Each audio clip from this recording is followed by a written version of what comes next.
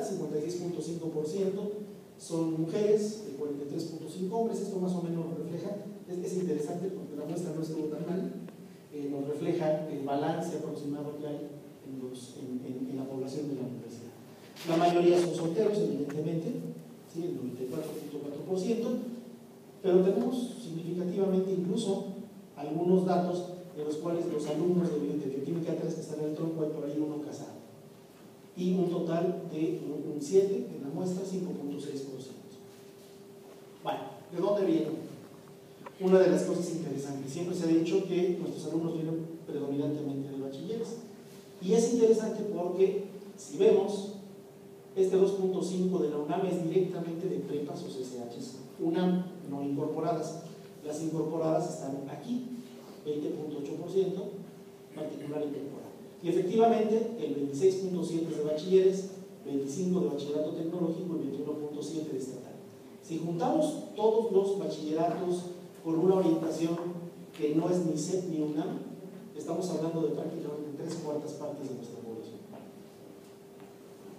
Quiero que recuerden un poquito esta parte tecnológica porque después, de hecho en algunas de las otras presentaciones que vamos a ver en, esta, en este mini simposio, vamos a hablar de cuestiones relacionadas con matemáticas y ciencias.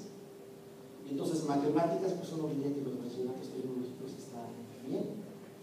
Y ciencias, pues bueno, a lo mejor por aquí en un año incorporadas, ¿no? Bueno, desafortunadamente no nos ayuda mucho, pero algo interesante. Nos quejamos de que nuestros alumnos llegan con niveles bajos, pero cuando vemos los promedios con los que egresaban del sistema bachillerato, vean ustedes que el promedio, bueno, es 8.28 en otros, 8.59 en bachilleratos tecnológicos. O sea, en los bachilleratos tecnológicos, pues una de dos, o son mejores los alumnos, o es más fácil obtener los altos. Una de dos. Cuando lo vemos en materias reprobadas por sistema, vemos que en la UNAM el promedio de materias reprobadas en el bachillerato por los alumnos de la muestra es 2. También nos reprobaron dos materias en el bachillerato, mientras que en los tecnológicos es 0.67. Entonces sí, me parecería haber ahí alguna, alguna relación interesante. ¿Cómo consideraron los alumnos su bachillerato? Si el bachillerato les dio algo, no les dio nada. En términos de desarrollo personal, ven ustedes, el 51% considera que el bachillerato les aportó mucho al desarrollo personal y el 38.8% que fue importante. O sea, más o menos el 90% de, los alumnos consideran que desde el punto de vista del desarrollo personal el bachillerato fue importante. Ya cuando lo agarramos desde el punto de vista académico, la cosa no está clara, porque solo un poquito menos de la mitad considera que el bachillerato les aportó mucho académicamente y un 45.5% que les aportó poco. E incluso un 76% que no les dio nada.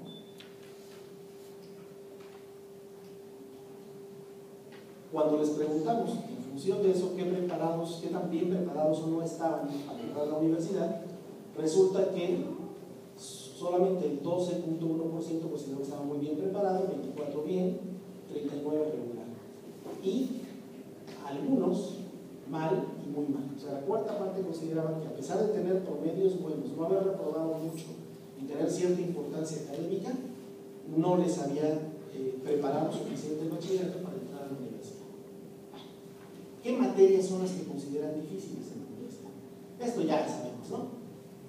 Matemáticas, física, química y biología. Pero ven ustedes que aquí empiezan a haber cosas interesantes. Bueno, primero, uno diría, si están en, en, en CBS, pues encontrar algunos que consideren que biología es difícil, no les suena a uno muy lógico, pero sin embargo, tenemos de repente hasta 15%, de los 15 alumnos de la muestra, perdón, que consideran biología difícil. Vean ustedes, por favor, tronco.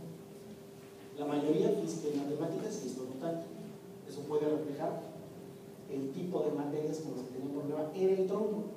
Pero cuando comparamos, por ejemplo, las licenciaturas, hidrobiología, parece sentirse peor en matemáticas que, por ejemplo, eh, experimental, o los alumnos de tronco, o incluso ya cuando los vemos en el total. Esto a lo mejor refleja que hidro tiene una carga eh, relativamente menor de matemáticas,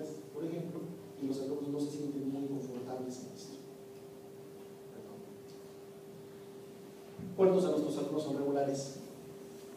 Pues apenas algunos, pero la mayoría solamente llevan cuatro materias cuando en el trimestre en el que se estuvo haciendo las, los muestreos deben de llevar cinco. Entonces, cuando menos están atrasados en una materia. Y eso implicaba que probablemente estaban atrasados más, más, eh, más atrás dentro del mismo grupo de, de No hay mucha diferencia, bueno, los de hidro están un poquito más eh, aquí en el, en el 4 y 3, pero menos de 3, por ejemplo, es muy claro que experimental estaba bastante colgado en términos de la regularidad de sus alumnos. ¿Cómo es la escolaridad de los padres? O sea, cuando ya empezamos a hablar del ambiente en el que se desempeñan los, que tienen los alumnos fuera de la universidad, por ejemplo, encontramos algo muy interesante y creo que es muy agradable. Empieza a haber un número importante de padres que ya tienen de preparatoria para arriba. Y vean ustedes el comportamiento. En los padres hay muchos que tienen primaria, secundaria, y luego se van a licenciatura, y luego por aquí, pues se ve bien, un diploma de especialización. Las madres ya no se quedan tanto en la casa de secundaria, pero empiezan a tener carreras comerciales, hay licenciaturas, incluso por aquí hay una maestría, un. Entonces es interesante, eh, discutíamos, discutíamos si, aquí había algo eh, que pudiéramos decir. Muy rápidamente, el tiempo de traslado es relativamente corto, hora y media, y la mayoría hacen algún tipo de comida en la No se consideran con riesgos de abandono por trabajar. Entonces, algunos están buscando trabajo, por ejemplo, aquí, para sus propios gastos o para que en la casa, pero no parece ser un factor importante. En una visión de futuro, y esto muy, muy rápido, desafortunadamente no se ve bien, eh, la mayoría de los, de los alumnos se van sobre estos enunciados, sobre salir como alumno y como profesional, ir a dominar una especialidad o progresar en la carrera y recibirse en el tiempo previsto. No es tan importante para ellos en primera opción el hacer un posgrado y trabajar inmediatamente. Lo van pensando para una segunda o una tercera opción, la mayoría. Esta la voy a pasar muy rápido. Y bueno, ¿qué podemos concluir? Muy rápido. Casi el, 50, el 80% de los encuestados provienen de los sistemas federales o estatales de bachilleratos tecnológicos. La mayoría tiene un promedio global de ingreso superior a 8 y considera que los conocimientos adquiridos en el bachillerato han sido útiles. Aunque parecen tener problemas en el área físico-matemática. Solamente la mitad de los alumnos están inscritos en todas las UEAs que corresponden. La mayoría, como les decía, considera más importante progresar en su carrera, sobresaliendo y dominando un área de especialidad de trabajar inmediatamente o seguir estudiando. ¿Para dónde puede ir este trabajo? Y esto va conectado con los, algunos otros de esta misma, eh, este mismo simposio. Hay que ver qué pasó con eso de las dificultades en, en ciencias, en matemáticas y otros lenguajes formales. Porque si se supone que traen un buen promedio, no reprueban mucho y siguen teniendo problemas en esas áreas, pues a ver, ¿qué saben realmente de matemáticas y de ciencias? Y hay que ver también si hubiera algunos problemas con los ambientes de aprendizaje en términos de eh, que hagan difícil la apropiación del conocimiento. Como ven ustedes, nada más para cerrar esta presentación, son algunos pequeños resultados, son 62 preguntas, entonces hay mucha información ahí que hay que seguir desglosando y eh, ir viendo qué es lo que va a suceder con eso. Gracias.